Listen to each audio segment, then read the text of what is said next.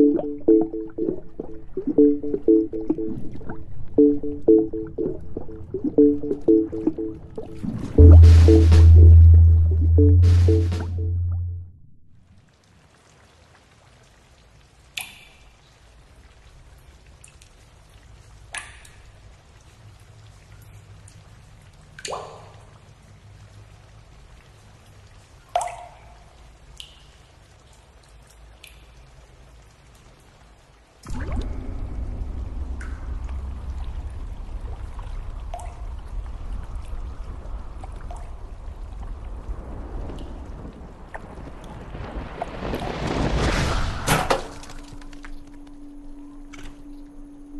In 1906, Pablo Valencia dared the journey from Mexico to California in search of gold.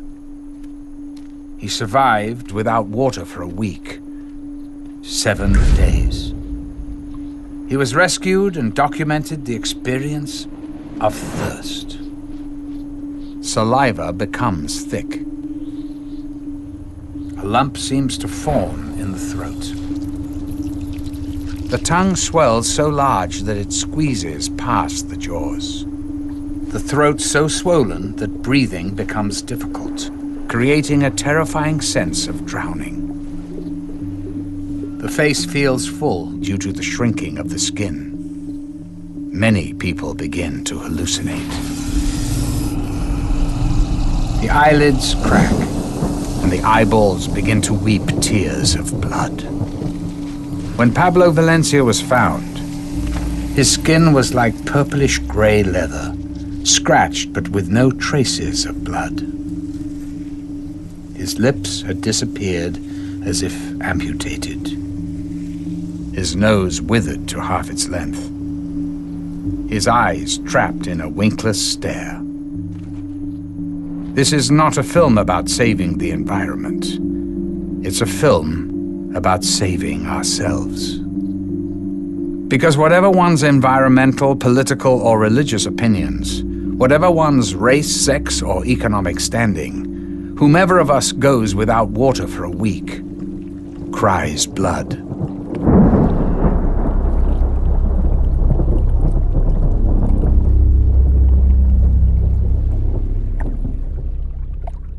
There is always a lot of focus on, well, what's the environmental impact?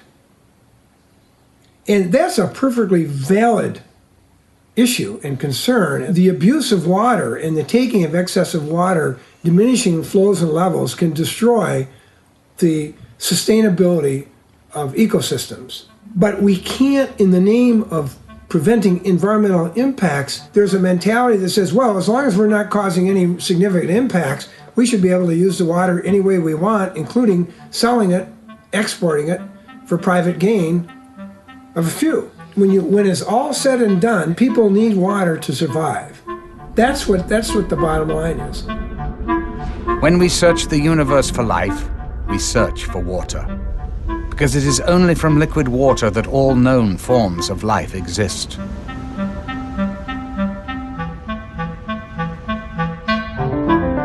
the blue planet. The only planet known to harbor life. The only planet known to be flowing with water. Water management has always been of key importance to humans. The Egyptians depended entirely upon the Nile. The Romans expanded the boundaries of engineering to use gravity to bring water to their cities.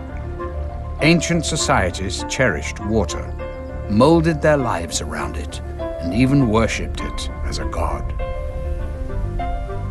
For whatever reason, between 800 and 1000 AD, climate change dried up most of the Mayans' local water supply. Farmers were forced to extend their agriculture into the jungle forests to grow food. There was not enough water for both the crops and trees, so the forests died.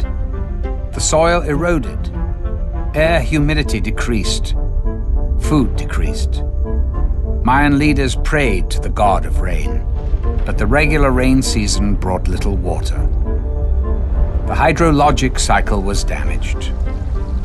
Life in the cities became less civilized, as the main focus of Mayan life became providing food and water. people abandoned the cities to begin a new life in the forests, in hopes that there was still a sustainable watershed there. There wasn't. But as we enter a new era combining high technology with the demands of global economic trade, we're entering into a unique stage of history. Water, which is the source of life itself, instead of being common and universal to everybody because we all depend on it, profit is made out of the running of and the delivery of water to people and to, to communities. Those that have the ability to pay will have access to the water. Those who do not have the ability to pay will go without. And therefore, it's a life and death situation in the final analysis on the basis of profit.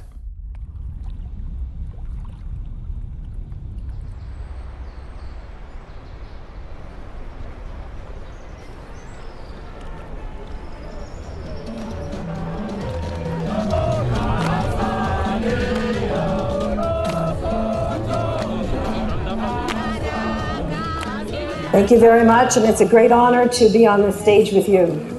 I want to talk, comrades and friends, about uh, a global water crisis in which we know that the world is actually running out of water. And that wasn't supposed to happen. It wasn't supposed to be able to happen because we were all taught back in, I don't know, grade three or six or whatever, that there's a, fi- there's a cycle. When it rains, the water falls from the clouds down all the way to the ground.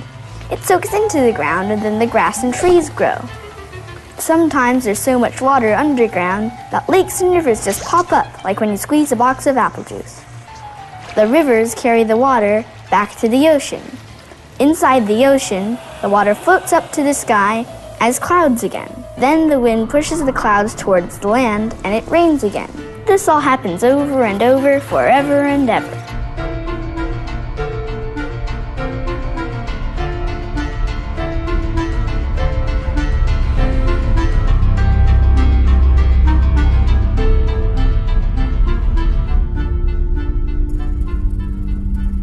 How is our water being polluted? Agriculture uses chemicals to increase farming productivity. Ironically, implemented to counter a diminishing water supply, these chemicals pollute the groundwater. Automobile gas emissions pollute the clouds. But perhaps the most damaging culprit is industry. Water pollution has been linked to the rising miscarriage rates in women, lower sperm counts in men, and it is so globally severe that the Malaysian government proposed the death penalty for anyone caught contaminating water. This is the, uh, the most uh, polluted river in the United States. Um, there's active uh, polio, uh, tuberculosis, hepatitis. Well, we try and, and reason with the aliens and, you know, tell them what's in the water and try and get them out none of the agents are going to get in that water to get any of these aliens. They're just contaminated.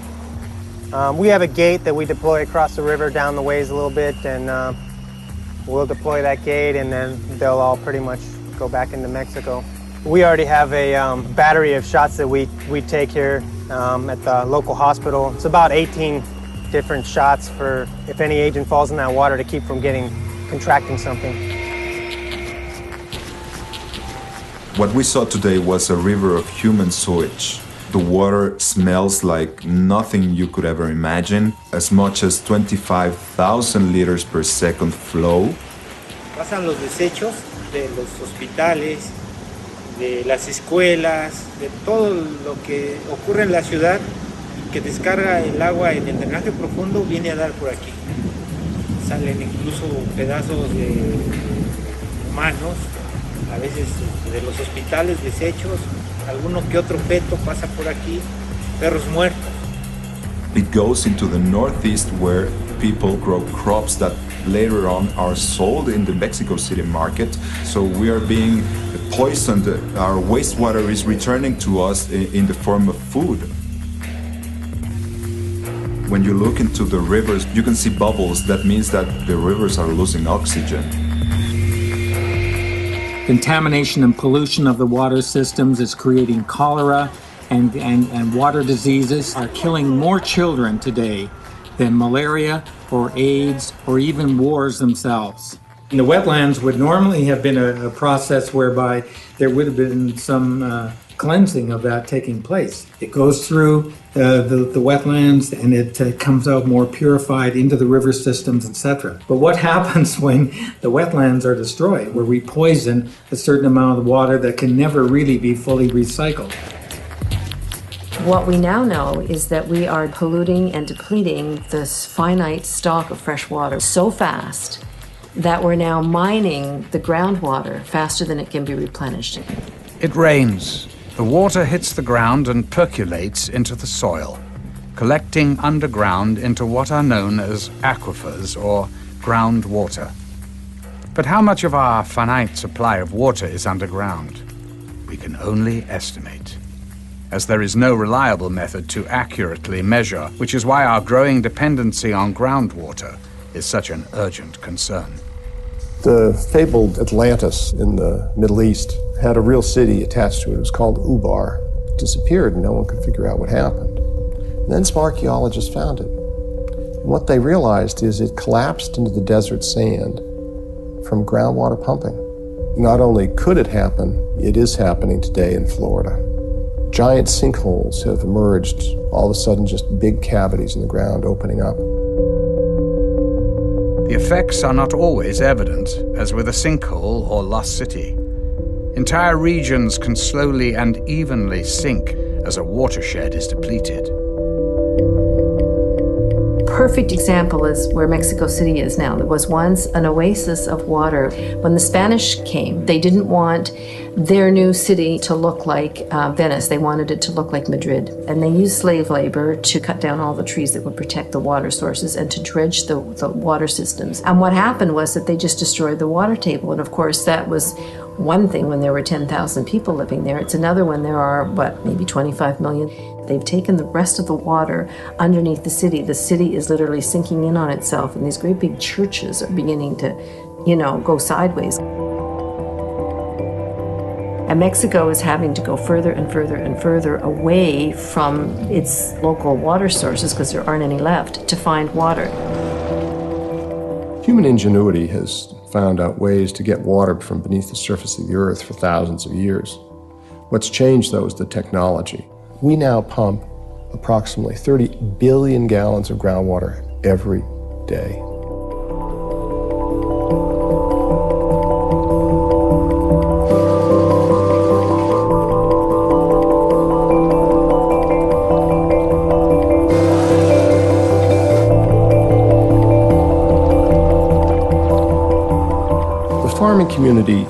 Started tapping into our aquifers at a time when there really were not other demands on the resource.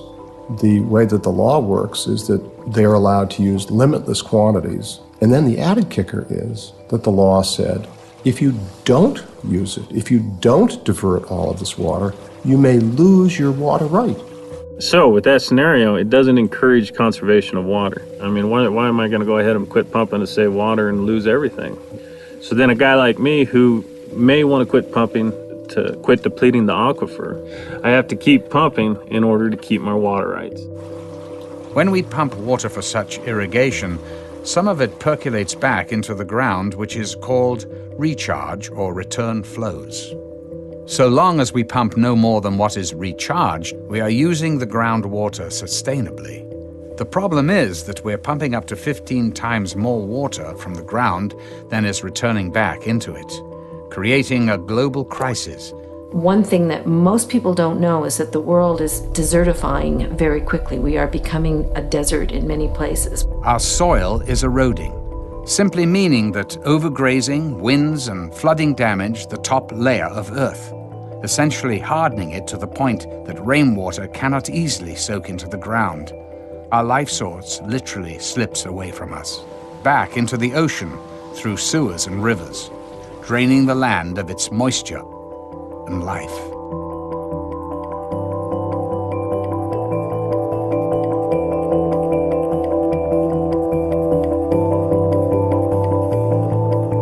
Że krajina, którą człowiek wysuszuje, zamieni ze zelenej na żółtą, a výsledkom potom je, že všetká voda je skumulována v oceáne. Extreme weather, a world of hurricanes and violent storms over the ocean, while the interior land receives less and less rain or violent, harsh storms that simply erode the land more. Zemská kôra kontinentu odľahčuje a príspevok kumulácie tejto vody v oceánoch spôsobuje zaťaženie zemskej pôdy, kôry, čo môže spôsobiť e, pnutie štruktúrách zemskej kôry a to spôsobuje zemetrasenie a potenciálne možné tsunami vlny, ktoré sme boli svetkami v roku 2004. Deforestation is a major contributor to soil erosion. Tree roots absorb water and thus hold the watershed in place. When they leave the land, so does the water. Because the forests that held the water have all been logged, there is no place where the water can be stored. The rain still comes and runs away as instant surface runoff. Just what I feared. He's formed a gang, and they're whooping it up for a flash flood. They're rushing down the canyon. They've made a wall of water 20 feet high. Look out! No longer satisfied with flash floods, the gang is planning bigger and wetter floods. Junior's getting dangerous. He's getting tougher and bolder every day. But groundwater pumping cannot alone be blamed for our desertification crisis. Cities are growing and expanding. For the first time in human history, more people living in cities than in the countryside. We have replaced permeable ground with hardscape, with roofs, with parking lots, uh, with homes. If it rains and the water doesn't hit the ground but hits the sidewalk or street instead, it can't soak into the ground and make trees. It just slides down the street back to the ocean and makes more clouds. This means that the ground gets really dry and the grass and trees die. Clearly, there is much more unpaved than paved land in the world, but the effect is cumulative and should not be underestimated. Celosvetovo zhruba 750 miliard kubíkov vody. Tento proces sa odštartoval po druhej svetovej vojne. Dá sa povedať, že teraz sme v polčase rozpadu vodného cyklu a o 50 rokov bude vlastne definitívny kolaps e, s vodnými zdrojami na globálnej úrovni.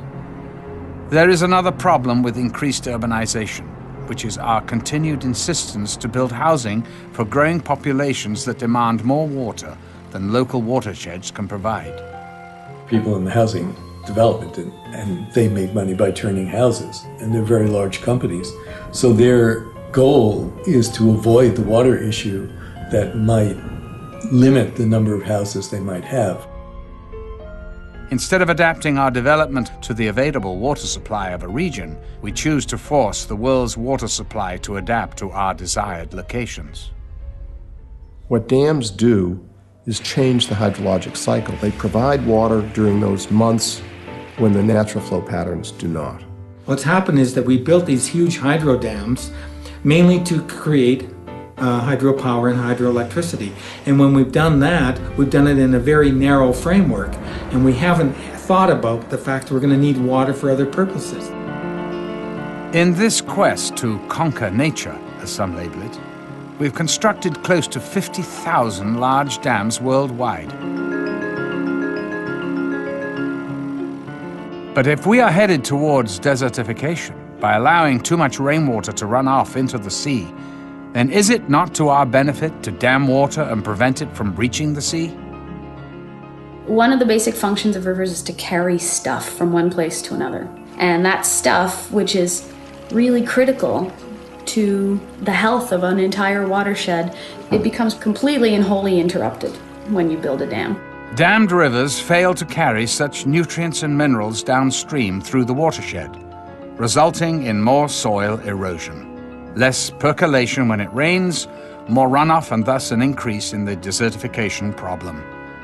When you trap water, it stops moving, and when it stops moving, it heats up because it's this nice warm soup full of nutrients that are not making it downstream. But then those things die and then they eat up oxygen. All of a sudden, you've got a major water quality problem. A river is the lifeblood of an ecosystem, just like the veins and arteries bring blood to every part of our organism. When we have choked arteries, that's what's called a heart attack. A dam is the choking of the artery of the planet.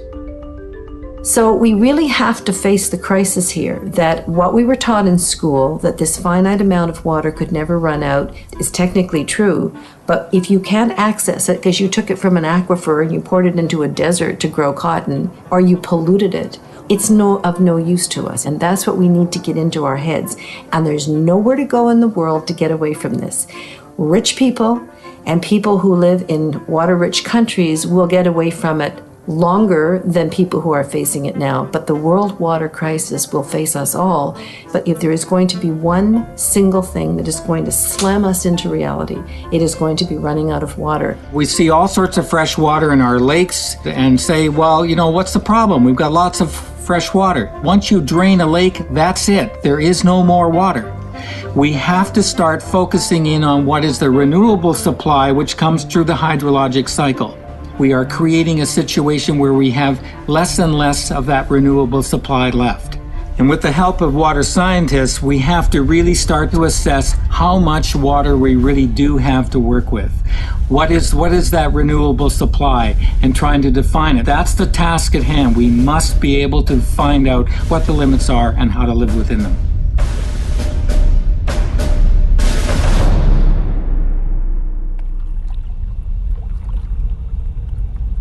But instead of our governments coming together and saying, we have a limited amount of time to come together and find the solution, what they've done is they've handed power over to big water companies who want to create a kind of water cartel. Uh, Suez, Veolia, which used to be Vivendi, and RWE Thames. And these companies are all in the top 100 top corporations. I mean, the water division of Suez has 400,000 employees. I mean, try saying no to them if you're a little third world country, right? So that one day every single drop of fresh water in the world will be privately owned and controlled. Up until the 1980s, really, if water was privatized, they were they were companies within a country. So France was mostly privatized, but the companies that then became the giants were just French companies delivering water locally. Water privatization in France, because of the multinationals that are so powerful there, and because of their long history there, is so ingrained that even the president of France wasn't able to stop it. François, à un certain moment de son, mandat, a été euh, rappelé à l'ordre, si je puis dire, par cette dictature économique et il n'a pas pu nationaliser les, entreprises de l'eau. C'est un système qui est très puissant, c'est une machine qui est sans état d'âme. And then in the 1980s, Margaret Thatcher came to power, and the Thatcher Revolution came into effect, and she privatized all the water in Great Britain. And that's when these big companies decided that they could start going global. At the same time, um, the UN was beginning to explore the language of water as um, an economic good and a commodity. And the very first time was at a very important conference in Dublin in 1992, which for the first time named water as a good. So you get the Thatcher Reagan uh, market economy ideology growing over here. You've got the companies all ready to go because they've been delivering inside nation states. And now you've got the UN saying, okay, we're, we're ready to start thinking about water differently, it's not a right. So it all kind of converged together. While the World Bank is created after the Second World War to bring financial stability and development to the developing world, and, and it's supposed to be pooled money from the wealthier countries to help develop the global south. However, what's happened is that the World Bank has hooked up with the three big water private service companies in Europe. They basically started to work their way into the developing world. And the World Bank would say, in exchange for debt relief, now we want you to privatize water.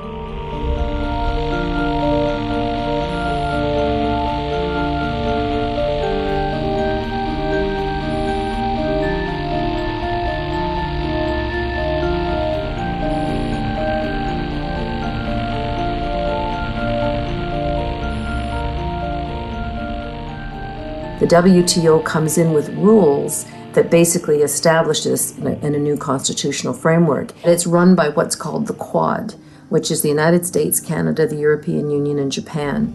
And the Quad makes all the decisions. It's their corporations that set the agenda. They decide when the meetings are going to be held. And they had thousands of military police with you know the full riot gear and so on. And the farmers had a huge march. And the head of South Korean Farmers Union is a man named Lee Kyung Hae. And he came from a devastated community where people were killing themselves. He climbed up on this police barricade.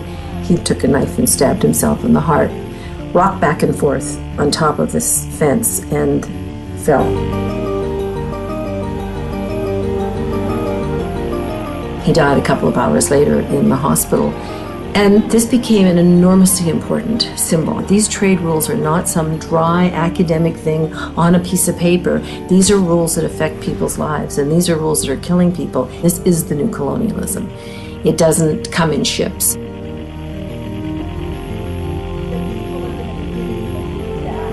But the facts we've heard the facts at this meeting. We've heard about the underachievement and the failures of privatization. And we know that ultimately these corporations aren't accountable to the communities that they serve. They're accountable to their shareholders, and nothing's going to change that. People think that water privatization is just a problem in the global south and the developing world, but that's just simply not the case. We have the very same situation in the U.S.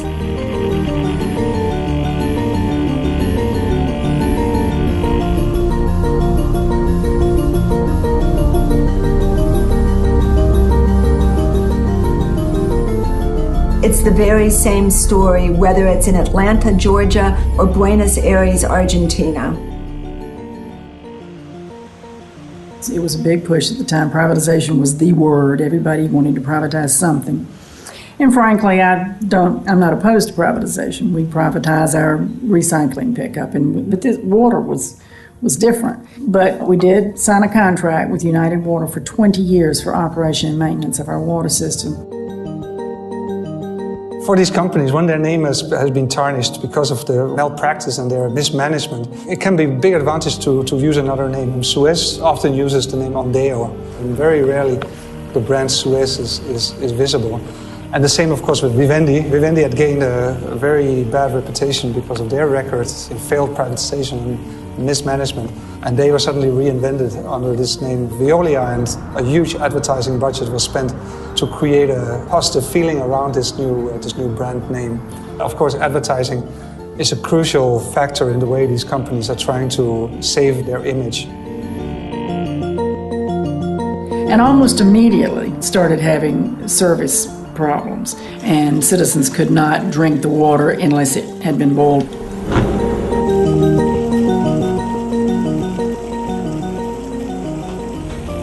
There are no clear cut performance uh, requirements and performance guarantees. We did require in the contract that they take all of our 550 employees for labor reasons. They usually slash the workforce, sometimes in half. So they cut out about 200 employees, and that could have been part of the reason for the service delivery. They couldn't find out where all the piping connections were. The workers themselves were the people that knew where things were.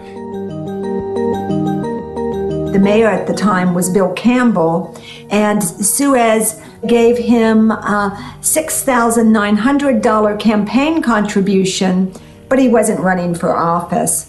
A trip to Paris where he and a female companion stayed in the best hotels and were wined and dined. Although two of the three water corporate giants are based in France, and French water has been privatized since the time of Napoleon, a small percentage of French regions have maintained their own water distribution through their city councils. The city of Grenoble managed its own water for over a century, providing good quality water at low prices to consumers. Suez bribed our mayor. Le maire de Grenoble a choisi de privatiser à Lyonnaise des Eaux Suez. Tous les services publics euh, sont bien moins chers que les services privatisés. There hasn't been one example in the world where there hasn't been a hike in, in, in the water rates. Il n'y avait aucune raison logique de privatiser ce service qui marchait très bien. Sa décision de privatisation était en échange d'avantages personnels, avait acheté le maire de Grenoble. I'm not a big fan of government controlling a lot of stuff. I've been in government. I've worked in the federal government, I worked in state government, I worked in local government, and I see an extraordinary amount of corruption.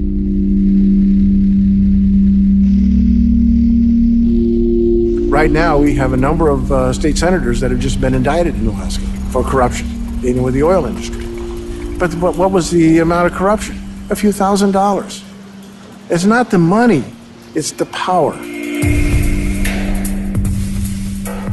Not many people know that prior to being president, Vicente Fox was the general manager for Coca Cola in Latin America. So Coca Cola received some of the largest water concessions in Mexico during the Fox administration. And this is something that really needs to be opened up for serious debate. People do not realize the extent to which there is a direct giveaway on the part of governments of water resources and services to industries locating in their jurisdiction. Well, I want to be very clear about the situation in Mexico that, that President Vicente Fox has given us no special favors on water issues or anything else along that line. The largest water concession given by the government in the whole country was to a Coca Cola bottling plant. It takes as much water as it wants. You could say that Coca Cola ruled Mexico. If you really look at the, uh, at the controversy of whether water should be owned privately or water should be owned publicly, um, he, I see abuses on both sides. When water is only owned by the government, you have an opportunity for abuse. When water is jointly owned by someone who is a capital interest, a private interest, a profit interest, and government, you have a partnership that tends to balance those things out. The new face of colonialism comes in the form of Coca Cola. You walk anywhere in Africa and it's Coca Cola water. You cannot get anything but, you cannot drink the water out of the tap. You can't even find purifiers. You are an absolute slave to this company. Dasani is not meant to be a substitute for municipal supply, so we are absolutely in support of robust, comprehensible, and equitable water and sanitation systems. In this country, you have to pay more for this water than you pay for the same amount of Coca Cola. So that, that's something. Dasani is in plastic bottles, and Coca Cola are in glass bottles. Now, when you look at uh, the, the price difference, what you're looking at is that the cost of, of producing those bottles is much higher. We have looked at in the past of bottling Dasani in the glass, but uh, the plastic package is becoming very popular now, and what we're looking at is what the customers want. As you look at new new ways to develop business, you look at also what the customer wants and needs are. The situation with the cost of Dasani is more about the packaging, and also plastic bottles are taxed at a higher rate than glass bottles.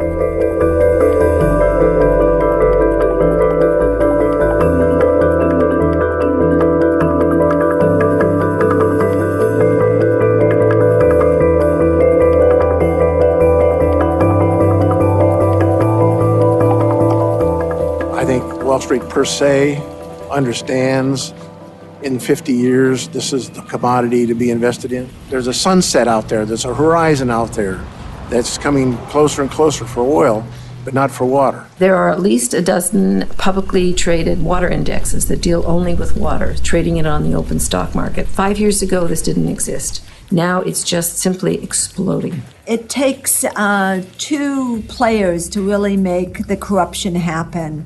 Uh, first of all, we have uh, corporations who are often greedy, but corporations are not uh, social service agencies. They're there to make a profit. And what happens too often is that the water hunters are able to come in, and either the government is corrupt or the laws are not sufficient to protect the water resources. As a water hunter, you just go out and you try to find a water source. It's not going to cost you a lot of money to clean up. The problem is getting it and holding on to it. Canada had 12 contracts for bulk export of water and arbitrarily with the change of government in British Columbia canceled those contracts. When you have a change in government, the previous government's commitments are subject to renegotiation. And that's just the way it is. So when you're looking at water owned by someone else that you have to get a contract with, that's not a secure commodity anymore. The only way to have a secure commodity is to create it yourself by desalination. Many do not see the harm in depending on desalination for our future water needs. And suddenly, many countries in the world are looking to desal and building new desal plants as the alternative, and this is going to save them. But to do that, we require a great deal of fossil fuels, some burning of fossil fuels, which contributes to global warming, which in turn contributes to the climate change problem in general. Uh, in order to address one problem, we end up creating a new problem. We already have an energy shortage. Where are we going to get the energy to use desalination? And a, a, lot of corporations are saying nuclear technologies. Well, nuclear technologies are really not viable. We have no current plan to deal with nuclear waste. You know, it's no different from saying to ourselves that we're going to go into space after making a mess out of this planet. We go into Mars, we relocate there, or we colonize space itself and colonize another planet. And having made a mess out of our own situation, having failed to live up to our own responsibilities in relationship to nature, we then move on to destroy another piece of nature and leave the mess behind. The fact that there aren't more plants in the world is because it's a cost factor only rich countries or the World Bank or big corporations or a combination of all three are going to be able to afford to, to build desalination plants. But even on the slim chance that technology can advance quickly enough, that the energy costs and needs lower enough to make a global desalination solution possible, the question still remains why? Why forfeit the water we already currently have? Why freely give it to others only so they can sell it back to us at whatever cost the demand allows? When you have communities that are looking to extend their water supplies, they'll pay what they feel the value of that supply is worth. There are 87 corporations now building desalination plants, and the biggest water company of all is General Electric followed by Procter & Gamble and Dow Chemicals getting into it. These are all companies that have seen the writing on the wall. And the writing on the wall is that water is the hottest property out there. I think you can add a 15% on that. I think if 15% is responsible, some investors will require 30. Uh, and if you can't offer 30, they're not interested in investing. What we actually have is that these big corporations are going to profit from dirty water. So they don't want to see the, the pollutants not going into the water in the first place. They want to have a, uh, a model where they can step in and provide very expensive technologies to clean up pollution after it occurs. I wondered when I looked at the UN Millennium Goals why they didn't include goals around pollution and cracking down on the fact that if you can't use the rivers and lakes in your area, then you're forced to mine groundwater. Well, it's as clear as a bell to me now. It's because they're raking in the money. Who's going to own that water when General Electric has it to clean? Does it pass through them but still belong to the public? I don't think so. So it becomes a product that, that is a result of your process, and then you own it. Who ends up owning these desal plants? Because if these desal plants are in private hands or even in government hands, because after all, water is the source of life. These desal plants are the way in which we get access to water, then those desal plants and who owns them ends up controlling our lives. Bottom line, uh, water is a good investment, period any place in the world. How much do you pay for your bottled water? You can fill that bottle of water at the tap for practically nothing. And the difference between what's in the bottle and what's in the tap is, in most cases, insignificant. You know, we do not advocate bottled water over tap water. You know, consumers generally buy bottled water because of convenience, because of access, I wouldn't say that it's healthier. It is a healthy alternative. Because of the world water scarcity, uh, the Great Lakes have been perceived to be a target. We are concerned about our wetlands, and actually, my thought was it's our water, they don't have a right to take it, which wasn't correct. In our legal framework, corporations have the same rights as citizens. And so we see uh, Nestle having the ability to go in and, and pump. Initially, it started from a meeting that had up in the town of, of New Haven. Naturally, Perrier hired a consultant uh, to study all of the effects of the pumping and so forth. And everything that they said, uh, you know, nothing would happen, everything would be fine, there would be no problem with the lake. I talked to my hydrology buddy and I said, Tom, he said that this isn't going to affect the spring. And Tom snorted, He's not a hydrologist, he's a hydrostitute. And we were told up there that night by their council that uh, we didn't have a chance in stopping them. But then we started having meetings and inviting people, and that we were just awed by the numbers of people that would come. Older people from the area, farmers, uh, retired people. It went statewide then. And finally, the incumbent governor, who had opened them with welcome arms, made a comment to Perrier that, hey, look, the people don't want you. Why don't you move out? They went to Michigan from Wisconsin. In 1892, a one mile chunk of the Great Lakes and its waters was deeded by the Illinois legislature to a private company. The next legislature moved into office and voided the deed, and in 1892, the United States State Supreme Court said, these Great Lakes, they're impressed with the public trust, and under this public trust, they can't be alienated, disposed of, diverted, or tra- transferred for a private purpose. That doctrine remains as lively and viable today as it did in the late 1800s. And that's exactly what became the basis of the lawsuit MCWC was still waiting to hear the opinion when the letters from Nestle were sent to members of MCWC, young people that had expressed their opinion in the press. And Nestle then, they were going to do a SLAPP suit against them where corporations actually step in and sue citizen activists. Uh, usually they're suing them on something that's absolutely ridiculous and often they'll lose, but the citizen still has to spend a lot of money on lawyers' fees, has a lot of worry. This acts as a deterrent to activism, and it is absolutely outrageous that corporations are being allowed to do this. And I was upset about that, but then as far as trying to intimidate, they put heat on MCWC as an organization, and it really laid the heat in on my mom. You know, I didn't care what Nestle did to me. I was fighting, I was fighting Nestle, but no one's going to mess with, with my family, and especially my children. Well, and, and clearly no company wants to be in the position of, of having to of having to do that sort of thing. It was simply a letter that, that simply asked them to refrain from making comments that were not true. Gosh, there's probably been three or four public hearings. Nestle was in attendance. There was newspaper press, there was television press. Just about anything I had said was either just my own opinion or else fact based. So it was very hard to know what are they referring to. And then I said, I'll be damned if they're going to do that to me. So Nestle came to Ferris to give a presentation my son Chris was there. My name is Chris Swear. I felt like my greatest defense was just being as public as I could. Received a letter that I, Chris Swear, am accused of slanderous or defamatory remarks.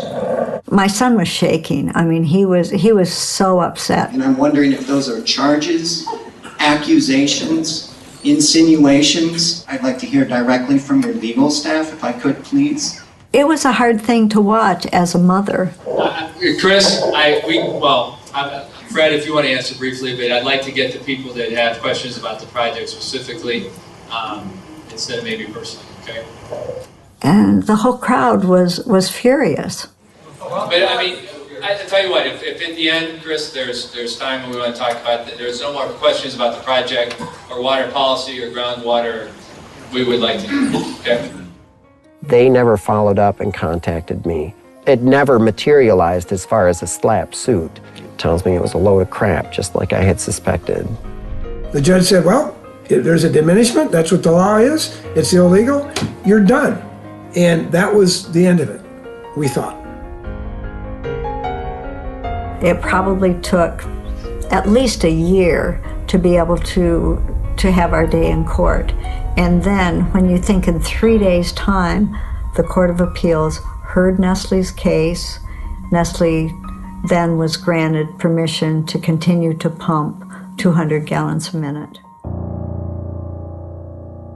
But in doing so, the Court of Appeals changed the law. Bottled water exports or exports of water in any form are hereby prohibited.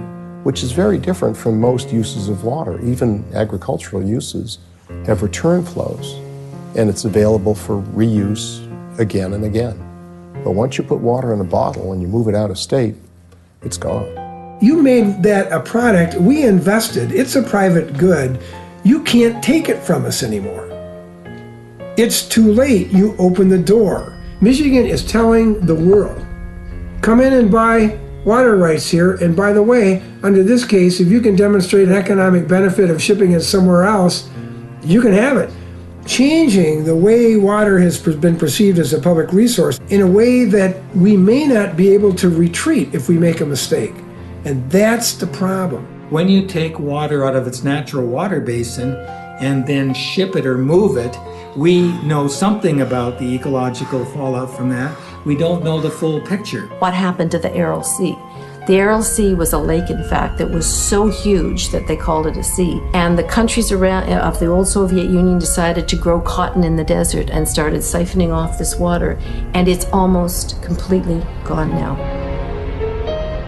Company comes along and says the impact of 210 million gallons a year in a tanker truck is no different than 210 million gallons a year in a bottle. And you already let the bottled water people do that, so you have to let us do that. And so I, that's how I got uh, started in looking at bag technology.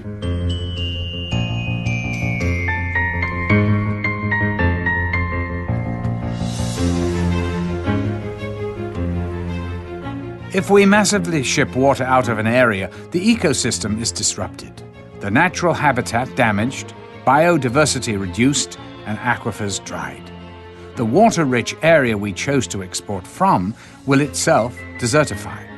The thirsty populations in the water-poor deserts we ship water to will simply consume the water and send it back to the sea via its sewers, thus still remaining a desert. Where one desert region existed before, two deserts now exist. Water is a supply and demand commodity.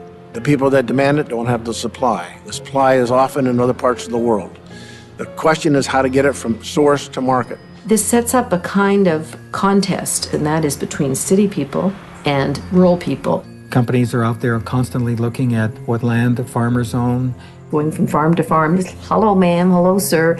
Now, what are you doing farming all day? It must be a lot of work. I bet you get up real early and why don't you just let us rent or buy your water? And we have had um, Texas Water come in and volunteer to build a pipeline. What I'm afraid of happening is the water will not be sold here.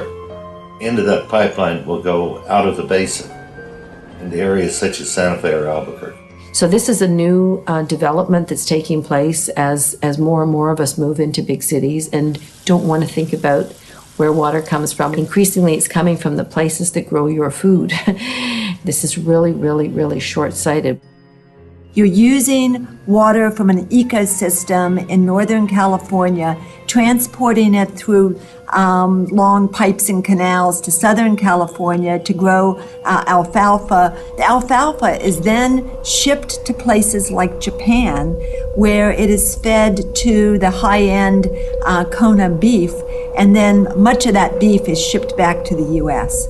So we've set up this system of agriculture that just doesn't work anymore, and it's really based on the concept of virtual water, where we're growing crops for export in thirsty places and then moving them long distances, rather than having our food grown more locally and more sustainably.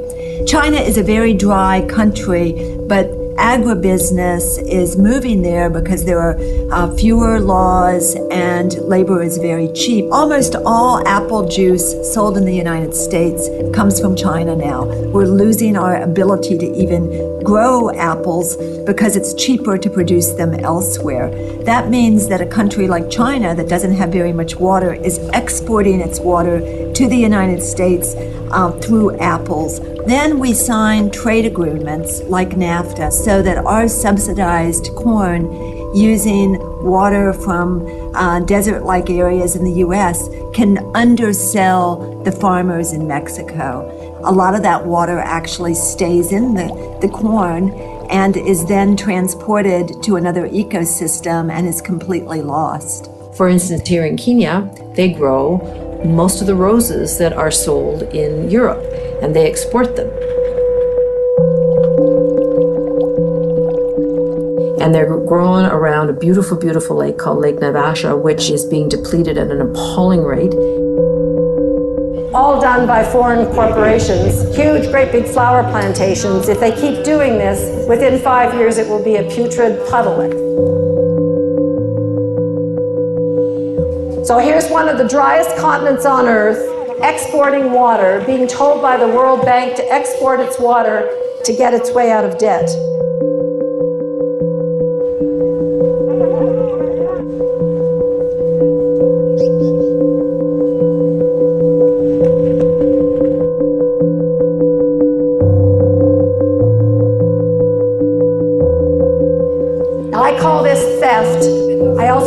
Form of murder.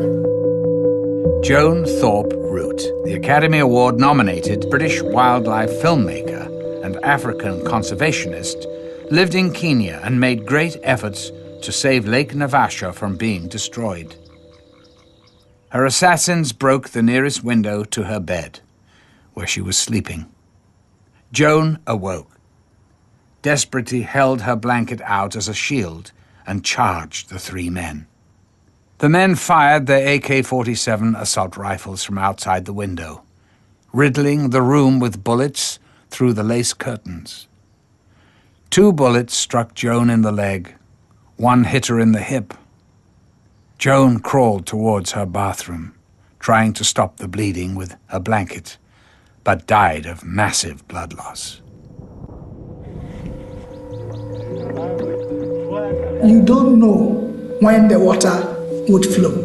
It, it flows once a week and you don't know the date, the time. So you are forced to open up the tap. When they open their taps, it's air. And when the air blows through the taps, the meters are running and they are charged for doing this. There's a pipe coming up, and between the pipe and the tap, there's a water meter. And you have to pay for an electronic key to get charged up. And you can look at it and you can see the water meter counting every single drop. And as one friend of mine said, I can afford about two flushes a month from this thing. That's how expensive it is. You know, they just throw their hands up in despair and they go back to that river that has cholera warning signs on it. If people don't have money to buy water, they go to polluted streams, they get sick. The, the, state has to pay for, the, for, their, for their health care.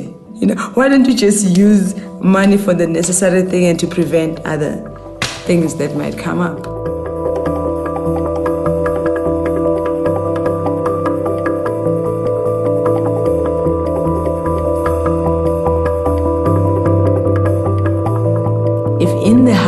I'm the only one employed, and I buy water, I'm going to limit or ration the people who living who are living in that house. That's why then you get domestic violence. Because now I want to do my laundry, but because my sister is the only one employed, she determines when I do my laundry. You know, parents will take the, the tokens that they use into making sure that the water can run, you know, wherever they go, maybe to work and all that. And then during the day, kids don't have water. And this other woman who lived in a shack with two kids took the token and went with it to work. And the shack caught fire. And there was no water to, to stop the fire. And even the neighbors are saying, we don't have we don't have money to stop hair fire, you know? These projects are taking away our humaneness.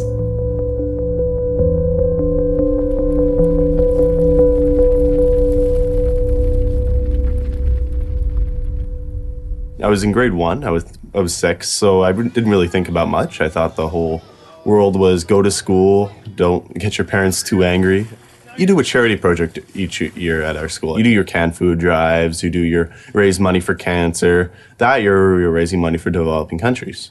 And for one penny, you could get a pencil. Five pennies, you could get uh, soup for the day or things like this. And then she got to a point where she said $70 would buy a well. And then she explained to us yeah, people are dying because they don't have clean water. They were just disbelieving that. What do you mean you can get sick from water and that you don't have things to clean yourself with, let alone drink the water? Then we asked, well, if they want water, how far would they have to go? And she said, like, uh, sometimes as far as 10,000 steps. I counted the steps it took me to get from my classroom to the water fountain, and I counted 10.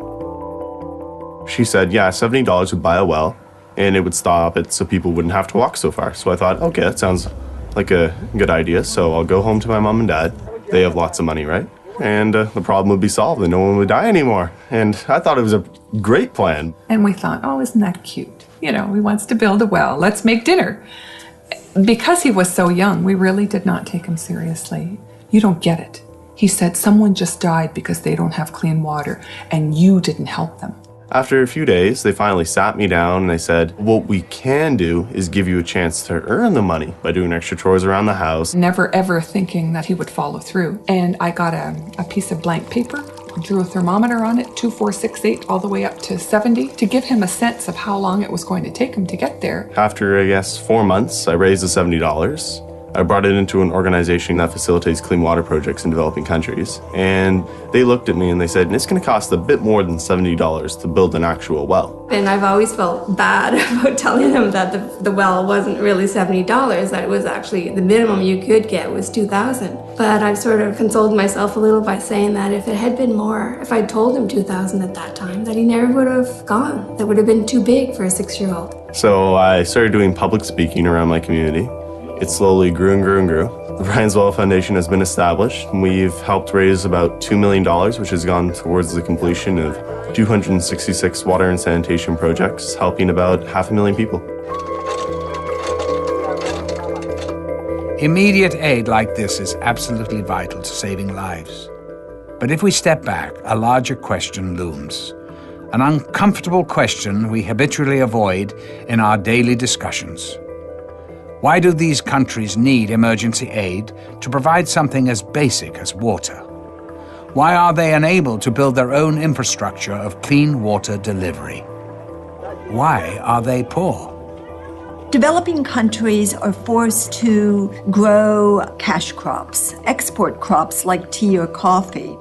We've got some resources, especially tea, which is really growing all over the World Bank and uh, the IMF and uh, the other countries, especially the Western world, that buys the tea from our, our country always gives us a raw deal. You find that we are given so little money for this tea. The World Trade Organization has required developing countries to remove tariffs so that products can flow uh, in and out of the country because it benefits are corporations. They, they get cheap products. Now, what that means is that developing countries are very hurt. And it's obscene.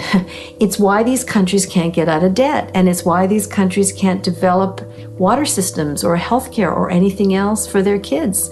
And there's a famous Senate hearing where a very senior World Bank official told the US Senate, don't worry, it, we're not giving money away, particularly for every dollar the United States invests in the developing world through the World Bank.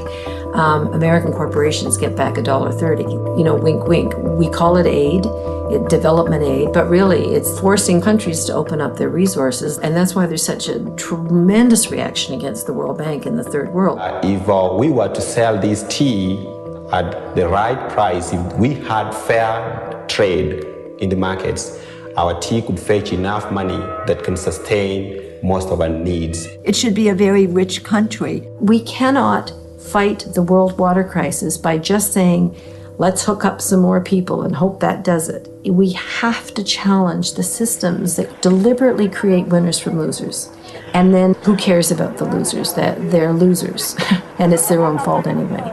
That's the system we have to take on, and we will never, never, never, never, never solve the world water crisis until we have the courage to talk about the world political and economic system. Wherever a river flowing free, is now treated as the supplier of raw material as if it was oil. We have the generation of water wars.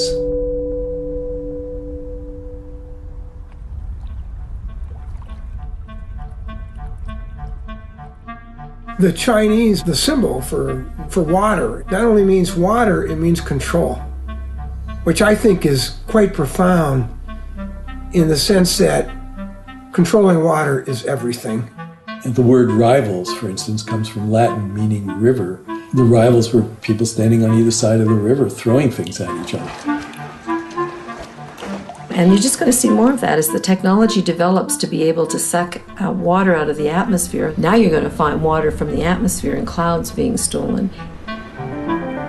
New techniques for controlling the weather are being tried. When conditions are right, rain is made to fall by seeding clouds with dry ice or silver iodine.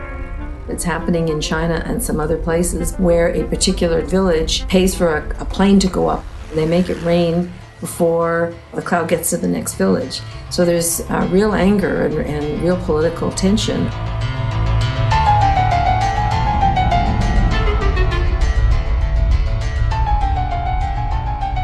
The worst case is Southern California.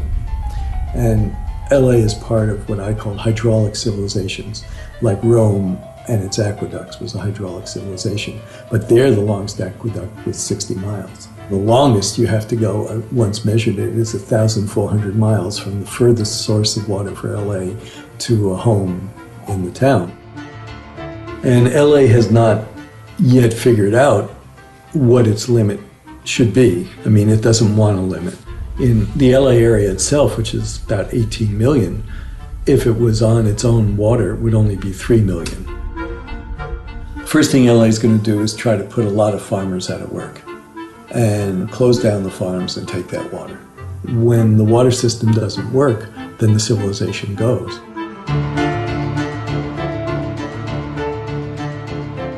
The most famous conflict occurred in the Owens Valley, and Mulholland was the head of the water department there, and noticed that it was pretty much a downhill run to LA in the 1920s. And so he got together a whole bunch of investors to divert all the water from Mono Lake and send it down through an aqueduct to LA. It put the farmers out of business, and there was a big, violent rebellion. In two different instances, tried to blow up the aqueduct. They partially succeeded once, and then they were arrested, and then they sent in kind of goon squads to get rid of the farmers, and then they paid them off. The last great water war in the United States was 1934 when Arizona sent in the National Guard because California, again, was building a dam across the Colorado to divert the water to California without giving Arizona any. And the ferry captain that took people across the Colorado put a cannon on the front of her ferry and they went up and threatened the dam. But it led to the Secretary of the Interior to stop the dam. one of the most bloody water wars is still being fought over the river Kaveri. That farmers of Karnataka and farmers of Tamil Nadu both required more water out of that river. A bandit of Tamil origin, Veerappan kidnapped a Karnataka actor with the demand that large amounts of water be released to Tamil Nadu. It was really as a chess game in the water wars. I was doing a major study on conflicts over resources for the United Nations University. This fat file of mine on river water conflicts suddenly had no more coverage because the entire issue was now being presented as an issue of religion, not water demands and water conflicts. So many water wars are presented as religious conflicts, when in reality they are fundamental conflicts over resources. Well, I want to tell you about one country tonight, and that's the country of Bolivia, South America's poorest country. Several years ago, the World Bank refused to guarantee a $25 million loan to finance the investment program of the local water co op and forced Bolivia to sell its water systems to a subsidiary of Bechtel. Uh, the water prices now account in Bolivia for more than the, they pay for food. Well, I have a story to tell you tonight, and that is that the people rose up in Bolivia.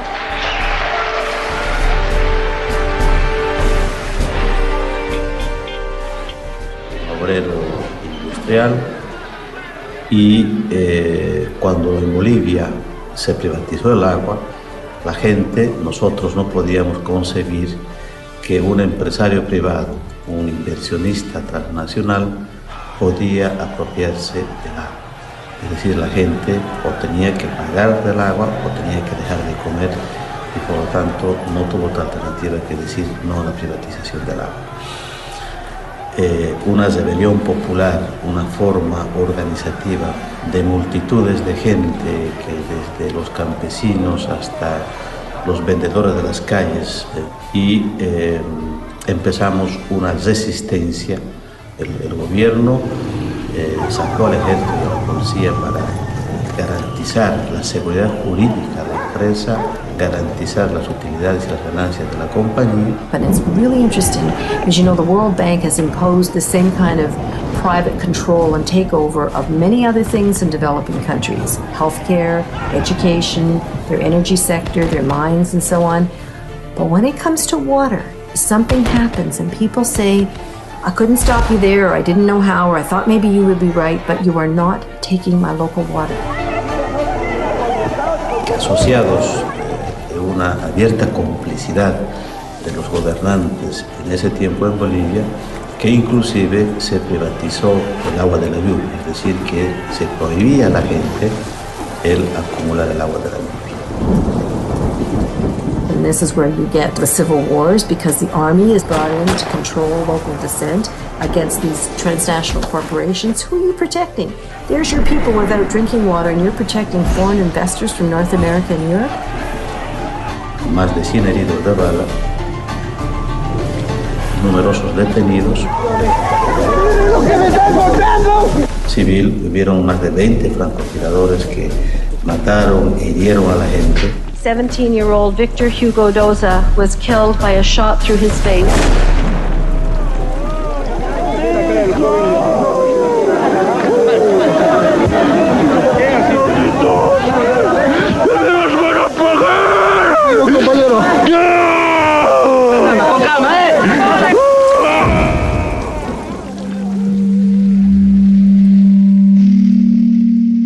See a whole new geopolitical picture uh, emerging here where the world map will be rewritten and redesigned. They've already mapped out uh, what are going to be the, the, the most intense areas of potential conflict in the next uh, 10, 15, and 20 years. So the, the water rich areas of the world are Brazil, Canada, Russia. So these big superpowers are beginning to position themselves in such a way that water, like energy, is seen as part of their future security, including their military security, including their commercial security. And they're beginning to, to understand they have to secure future sources of water. The U.S. is doing military training around the Great Lakes, and 80 mayors of towns and cities around the lakes have asked the U.S. government to suspend this, but they're not going to. I got involved in this issue in the mid 1980s when Canada was negotiating a free trade agreement with the United States, and the free trade agreement included water as a good. There was a statement uh, made by one of the participants that uh, Canadian water would be flowing to the United States Midwest from the Canadian North by pipeline within two to five years. Who knew? and move that water into a crater in the Rocky Mountains, which would be kind of like a huge mega reservoir. And nobody will stand up in our country to the United States administration and say, this is our water, because they know that the United States would consider that as serious as if we put missiles along the Canada US border. It just would not be tolerated in the US. In the new regime, where water is being treated like oil, the protection of that commodity is being ensured through a militarized defense. And the good part of Brazil sits over top of the largest aquifer in the world, which is called the Guarani Aquifer. This is going to be a major source of uh, fresh water in the future. Very recently, the United States has established a military base located just inside the border of Paraguay. As you know, the United States itself is running out of water. Water is becoming more and more uh, a matter of priority in American foreign policy. Secretary of Defense Donald Rumsfeld went on a quiet mission to a number of Latin American places, including uh, Paraguay, to try to see what kind of further advancement could be made regarding the presence of U.S. Uh, forces in that region. Shortly after uh, Rumsfeld's visit, uh, something like 500 special forces were stationed at the military base there in Paraguay. Este caso, no momento agora, quando os países tomaram conhecimento, já tinha sido aprovado pelo parlamento do Paraguai. It remains to be seen what will happen and what they're doing there exactly as to whether the purpose of that uh, military base is really to secure a military presence at a very pivotal location for uh, exercising some measure of control over the uh, Guarani uh, aquifer and water takings from the Guarani aquifer. In the last few weeks, there's been report in the media about George W. Bush, the president, purchasing land in Paraguay the speculation is that that has to do with uh, wanting to have access to the aquifer and pump water out of the aquifer. Jenna Bush, who is uh, the daughter of George W. Bush, had uh, paid a uh, quiet 10 day visit to Paraguay, in particular, meeting with top officials in the government. And as it turned out, what was happening, at least this was what the speculation was in the press, was that she was about to facilitate the purchase of something like 100,000 acres of land in Paraguay in her family name. At the same time, though, that that was happening, it was discovered that George Bush Sr already had something like 173,000 acres of land. Was this uh, an example of uh, the Bush oil family now switching from black gold to blue gold, turning to water and purchasing water? Clearly, after that, there were a series or a string of denials on the part of the Bush uh, family, not directly, they did it through agencies, U.S. government agencies. Eles negam a construção da base. The world's largest dam is located very close to that, to that area. And so that also was a, a matter of considerable interest for, for the U.S. as well. Os americanos, não diria o povo americano, mas uma parte dos americanos, principalmente de seus governos, tem uma visão muito militarista, economicista e predadora. E quando não conseguem no convencimento vão pela força. A visão economicista, a visão imediatista, é a mesma visão que levou em outro campo ao americano ter o que teve no Vietnã, como agora no Iraque. Será que essas lições eles não aprenderam ainda? I mean, there's no question that uh, that region of the world is the Middle East of water uh, in the future.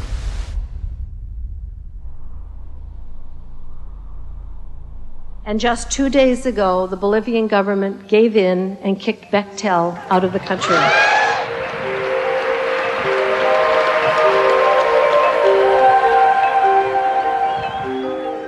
Humble Bolivians, led by a 45 year old, kicked one of the world's biggest engineering companies out of the country for its criminal behavior and told the World Bank to go the hell with it. Bueno, dos días después de la victoria popular, eh, yo tuve la posibilidad de viajar a Washington. Primera vez en mi vida que salí a Estados Unidos, segunda vez en mi vida que salía fuera de mi país. And this simple shoemaker from Cochabamba, Bolivia, gave one of the most moving speeches I have ever heard. Solo somos dueños del agua y del aire. The only thing that is ours anymore is our water and our air posibilitó la pérdida del miedo que se tiene frente a los poderes constituidos económicos, financieros, políticos y militares. Es que la única fuerza capaz de transformar el mundo, capaz de transformar la sociedad, es esa capacidad de unidad, de organización y de movilización de la gente frente a cualquier poder. And people were so moved, they not only clapped for him, they got up on their chairs. like a standing ovation that wouldn't end. It was just a stellar moment because um, this is a really scary story, and it's a true story, and we really are running out of water. It doesn't have to be that way, okay? And that's the most important thing to say is that it's not too late. The earth is amazingly elastic in terms of coming back. It's, it's the, the ability of the earth to renew itself is stunning. Aj najlepšou formou boja proti privatizácii vodných zdrojov je mať viacej vody okolo seba vo svojom životnom prostredí. Je to vlastne Gandhiho filozofia blízko svojho, vo svojom prostredí a tým pádom stráca zmysel obchodovania s vodou. Riešením je veľmi jednoduché. Vrátiť vodu do, do e, vodného cyklu a začať zavodňovať krajinu dažďovou vodou. We need to dig holes. If we dig holes in the sand, we can trick the water into staying so it doesn't run away to a river or ocean when it rains. The water will sit in the holes and soak into the ground. Then more trees will grow. Uh, we prepare very simple, very cheap uh, solution and we invite youngsters and volunteers every year uh, about uh, summer camp uh, two uh, weeks Uh, about uh, 40 to 100 people make manually for example small wooden dams on small streams on water holdings and to accumulate water there's a huge difference between these water catchments and dams because dams what happens is that is a large amount of water uh, land area gets flooded. We create these huge reservoirs then the water becomes stagnant in them and the mercury it starts to uh, spread throughout the, the water system itself and it creates a whole different set of problems. In these water catchments what happens is that the water is trapped so that it goes right into the ground itself and therefore starts to replenish the, uh, the groundwater systems. A môžeme vlastne mať zo krajiny zelenú. Pre, povedzme, pre vysušené regióny sveta, ktoré môže with creation of clouds in atmosphere and create of raining. This model can to create uh, million and million jobs for poor people around the globe. Blue alternative solution is very easy, simple, cheap, solving of complex problem. And it, quite frankly, is the antidote to uh, desalinization. This is the kind of approach that we need to take in order to revitalize and rebuild our groundwater systems. And then we have to stop going into the groundwater and taking it out in such a phenomenally cavalier way. In the US, the largest amount of groundwater is being used for agriculture. And you really have to deal with agriculture to solve our water problems. The water efficiency with hydroponic systems is 20 to 30 times more efficient than crops growing outdoors. The reason is that we are placing the water directly to the base of the crop through drip or trickle irrigation systems. We can take that fish called tilapia, and when they grow in this water, we can take that nutrient rich water and go on to crops with that. And any excess of water going onto the roots, it's collected. It can go back to the fish and then go through the system again. And it's these technologies that will save this planet in the next century.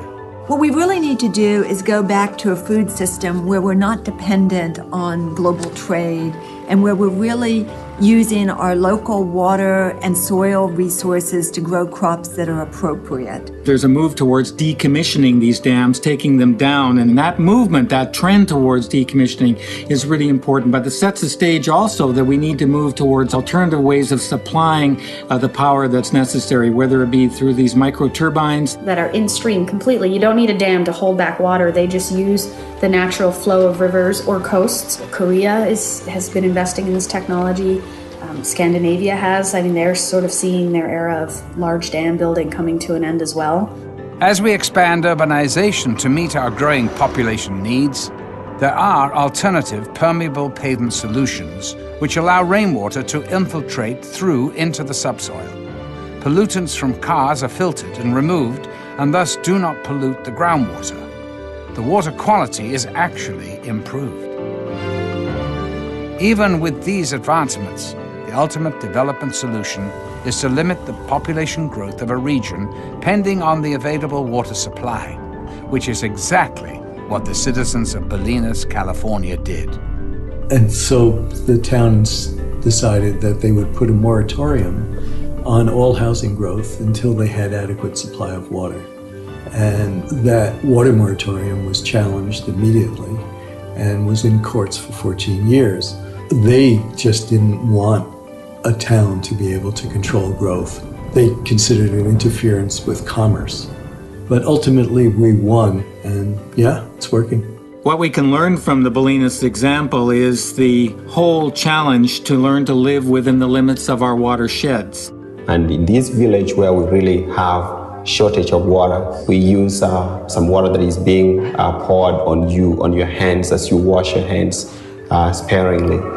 And people really value any amount of water that they have. It's exactly the opposite of America. I mean, America could save 20 to 30 percent of its water really easily.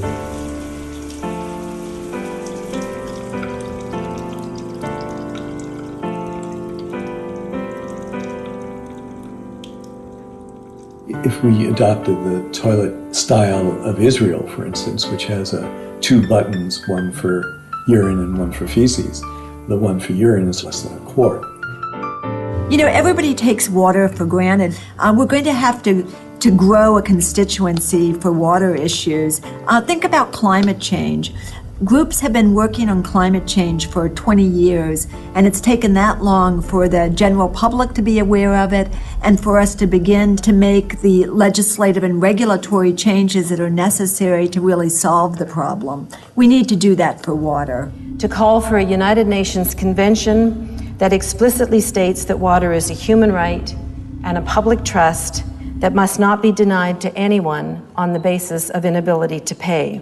Demanding that we put this language in an international framework at the United Nations. Because the operations of these corporations, these water barons, have now gone global, this has gone beyond nation state law and requires us to bring in some kind of instrument at an international level to control these companies. And that led to the really exciting change in Uruguay. En Uruguay se privatizó el servicio de distribución de agua potable. A poco de haberse establecido, los precios se elevaron exorbitantemente. El agua que se distribuyó en algún momento estuvo contaminada. Se llegó incluso a cortarle el servicio a una escuela. Los uruguayos, con una larga tradición democrática, promovieron la reforma de la Constitución. Where citizens were able to pass a constitutional amendment that actually established the right to water and, and forbids privatization. That's the model that we've been using when we talk to groups around the world and the model that we're promoting. So we're looking for a small group of nations to begin a process within the process in the United Nations. There are some powerful countries opposing the right to water, most prominently the United States, to my eternal shame, my own country, Canada. It has a lot of water resources, and they're concerned about having to use uh, send water to the United States. China, Egypt, Australia, and possibly India. They don't want to have to be responsible for providing their citizens water. This is a, this is life and death what we're talking about, and I feel very very strongly that we have to put ourselves out there on the line, and sometimes it can be dangerous, but we have people power on our side. To the disapproval of the citizens of the small town of Fryeburg, Maine, the water bottling company Poland Springs set up a plant. To appease the population, Poland Springs gave away a case of bottled water to the first 50 townspeople to visit their office. Led by 89 year old Republican store owner Howard Dearborn, they poured the bottled water into Lovewell's Pond back where it came from. This week at the World Social Forum is being launched an historic organization, the African Water Network. A world that is going to say no to commodification of our common goods like water. To mobilize and protect Africa's precious water sources from abuse and from corporate theft. Now we have a defiance campaign that says, okay, you can install your meter, after you turn your back, we take it out, we connect the pipes, and then we throw your meter away. The court case has cost over a million dollars. We've done a lot of innovative fundraising, and you have to realize that we're just uh, normal, ordinary people who are living day to day and and fighting, you know, this giant. I play sports. I hang out with my friends. I do all that re- regular stuff any teenager would do. It's just I do this on the side. I just wanted to get people clean water so they wouldn't die. I guess being that young sort of helped a lot because I think I was too young to be nervous. You just see smiles light up on people's faces. because they have clean water to drink. A smile doesn't light up on my face because I can have a shower in the morning. None of these people, I don't know if there was an activist in the group. You, when you come from the grassroots, I think legislators look at it totally differently than they do if you are an activist. And I think that's what we had is they couldn't go back on us and say, you guys are always out there raising a ruckus. Probably the end result isn't going to affect any of us because we're going to be gone. But we're fighting for the people that are going to use it in the future, our kids and their kids. If we don't do something to save it, what are they going to have? Bottom line is, those people are there. And I'm talking Republicans, Democrats, and everything else in between and beyond. They're there because if money is more important than water, where are we? Our previous mayor was indicted and, and tried and is, is currently serving time. Et le maire, ministre de la Communication, a été euh, mis en examen puis euh, emprisonné euh, avant d'être condamné.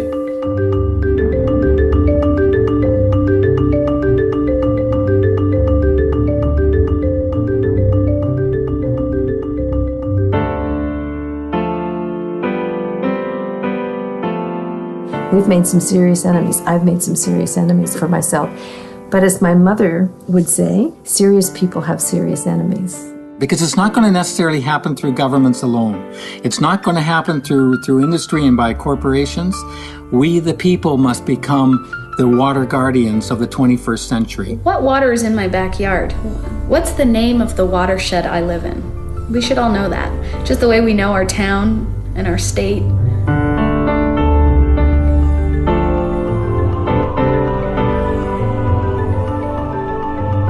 Ask the question where does your drinking water come from and where does your wastewater go? Just start asking the questions. You don't even have to do anything, just ask the questions.